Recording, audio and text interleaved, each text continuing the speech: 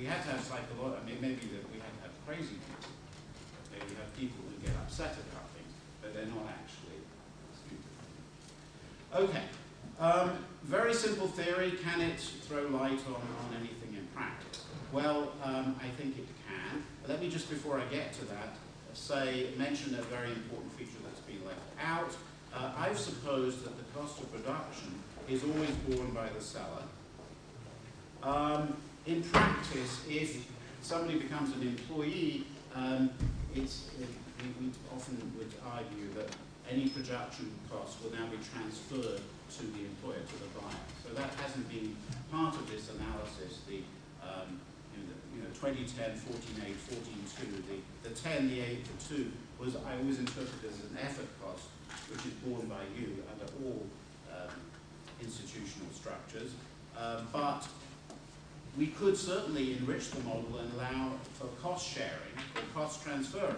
So we could think of this cost as not an effort cost, but an actual uh, cost that appears in the accounts. And if you work for me, I might then, uh, you know, the deal would be I would pay that, whereas if you're independent, um, you would pay it. Now, to, to do that formally requires more work and we don't have time for it. But let me just say that to the extent that when you work for me, I am in charge of we do business, it's very natural for me now to incur any transferable costs rather than you.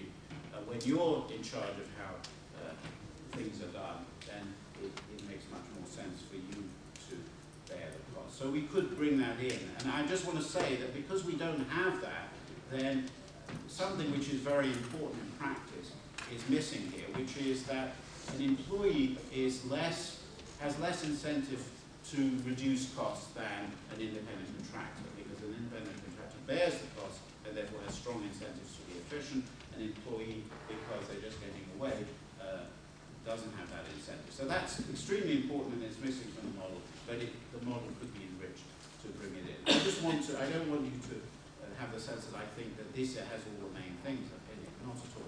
This is sort of a bare bones first attempt. But even with this qualification, I think the model can suggest, uh, can explain some things. So um, let me mention um, an important issue, which is uh, outsourcing.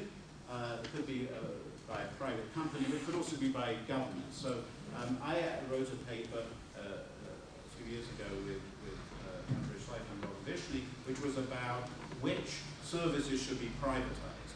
And because obviously we didn't use this model because it used the older property rights uh, literature model, and um, we argued that there are some services um, where it seems pretty clear that you can do them efficiently uh, through private uh, provision and the uh, municipal garbage collection as an example. So we, said, you know, it makes sense that many cities or towns um, privatize that. They don't have their own. Um, so that's like independent contracting rather than employment. And uh, at the other extreme, and, and basically the reason is that you can write a pretty good contract. And to the extent you can write a pretty good contract, um, it's a bit like, okay, so I guess I, I, say this. Writing a good contract means that my value isn't going to depend very much on how you produce the good, because I've specified the important things to me. So that means we're more likely to be in this situation where you may care a lot about how we do, which method we use, but because I have a good contract um, on quality, uh, I don't care so much. So with municipal garbage, you can sort of safely leave it up to the supplier. He, he or she will have strong incentives to do it efficiently, but your contract sort of indicates in enough detail what they have to do so they're not just going to throw it on the, uh, you know, people's lawns and so on. Um, at the other extreme, we argued that uh, fighting wars is something where it's probably very difficult to write a good contract, and where uh, the buyer may care a great, that is the government may care a great deal about exactly how the war is fought than the supplier. So this might be a case which is closer to um, to this one where, uh, sorry, no, to this one, uh, get it right. Uh, no, it was that Right, I care a lot about the way the war is fought, you don't care very much. Uh, because it's very difficult to write a good contract, and therefore employment is better. Um, and then maybe um, prisons is somewhere in between the two, where some, in some cases you can write good contracts and some you can't. Well, my point is this. Uh, we did that whole analysis using a different model, but it turns out this model uh, yields sort of similar conclusions. Garbage, yes, privatize. Wars, no, don't.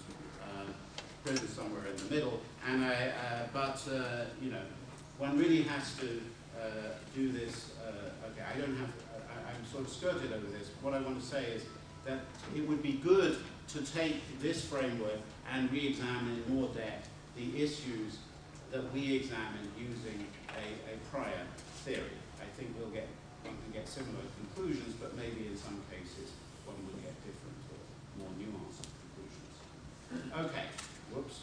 So now my punchline, which is, um, so I mean, let me just stop there, pause there and say that um, I think this uh, bare bones approach um, can be applied to some actual situations like uh, this outsourcing uh, issue.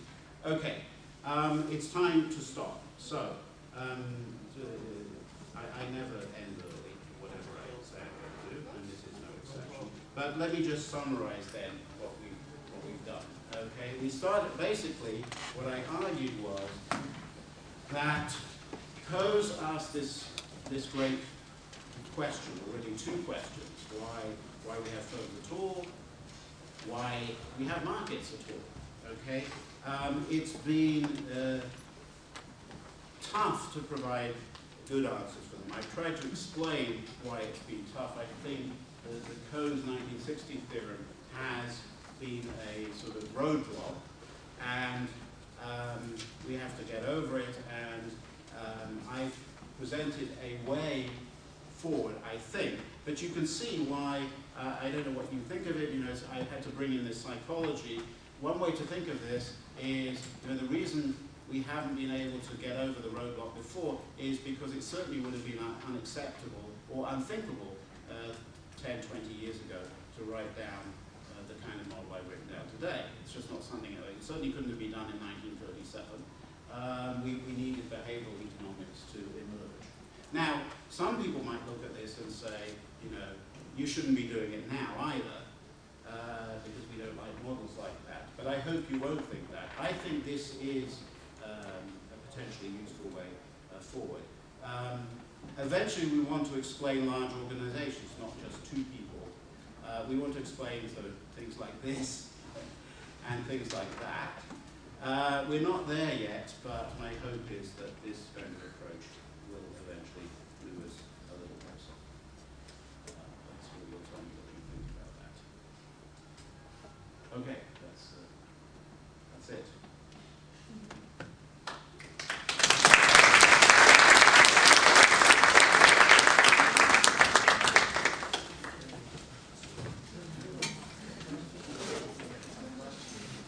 Um, Yes.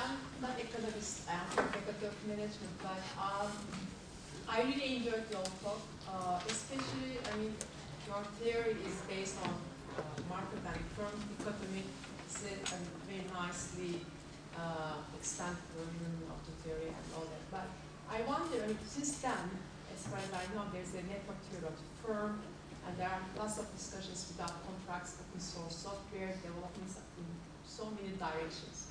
I wonder, of course, there wasn't enough time, and you mentioned there's transaction cost theory, but I believe it's just in that particular field. So I wonder your view with respect to network theory of firm, and without contracts, how to explore theory the. Well, okay, that, I have to ask you, what exactly is the network theory of the firm? What, what do you have in mind? All the alliances, just- joint ventures, all sorts Sorry? of different, different forms of organizations that have not just one company based on ownership. So Hybrids of various, Yes. yeah, okay. Well, the thing is, um, first of all, we know that even within firms, whatever kind of firms they are, they're certainly uncontracted because they're employment contracts. At the very least, people uh, you know, they don't work for nothing. So we've got some contracts there.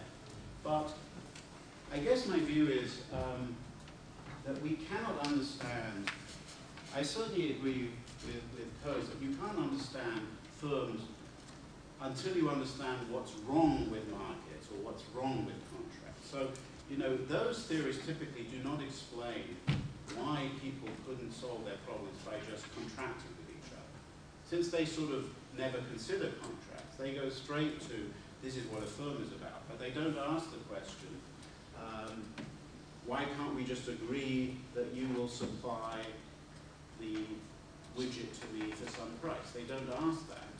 So I'm sort of starting, uh, if you like, by saying we need to understand the contractual failure, or the, I mean, coastal a market failure, I think it was a contractual failure first. So I don't think they've done that. But the second thing is that at the end of it, I'm getting out a theory where, which has at least some resemblance to what goes on inside the firms, in the sense that I'm showing why we want to fix the price ahead of time, which looks very much like, and I sometimes get the employment contract uh, out of it. So um, again, I think until you have a theory of that, um, you're not going to be able to have a theory of networks. I mean, it's not that what these people are doing is, it's not that I don't think it has any value, but they're, they're, not, they're not worrying about basics at all.